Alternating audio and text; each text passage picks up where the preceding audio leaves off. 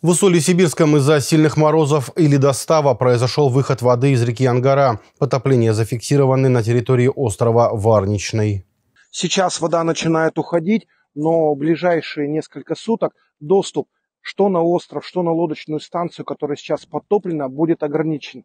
Пожалуйста, будьте внимательны. В телеграм-канале губернатора Приангария Игоря Кобзева сообщается, что гидрологическая обстановка на Ангаре в Усольском и Боханском районах находится на контроле.